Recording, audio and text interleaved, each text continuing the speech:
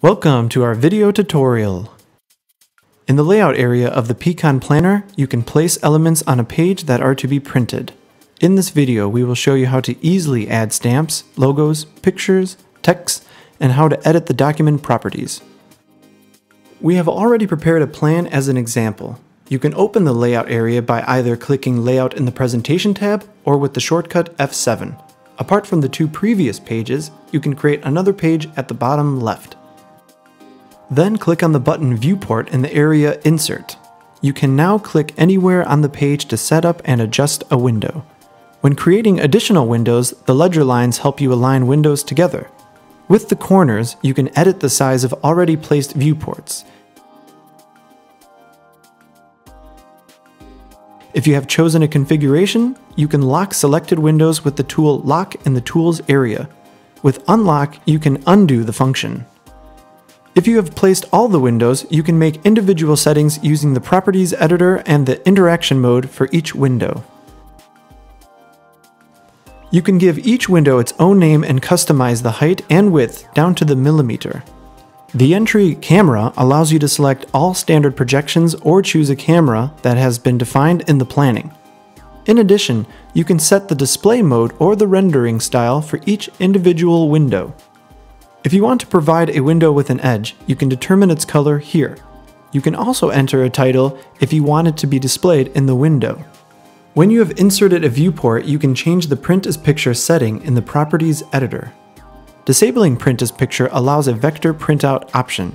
You can read more about this in our pCon.planner online help. With the button Text found in the Insert area, you can also accommodate longer messages in your layout.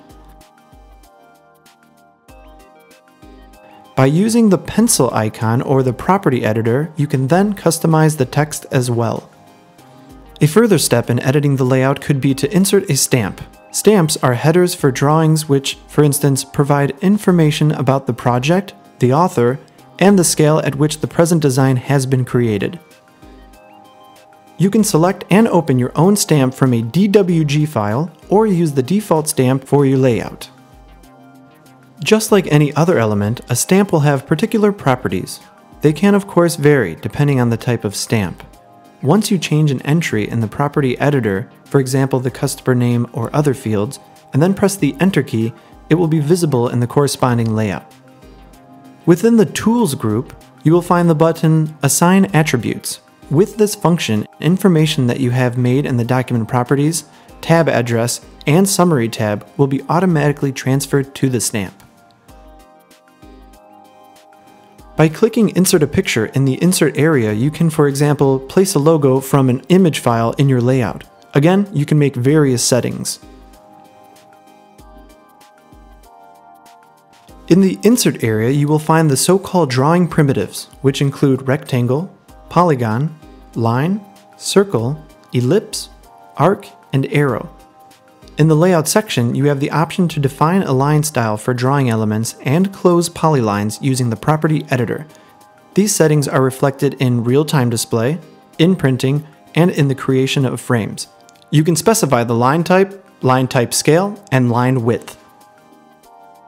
Prepare individual printed layouts with pCon.planner in order to convince your customers of your expertise. Thank you for your attention.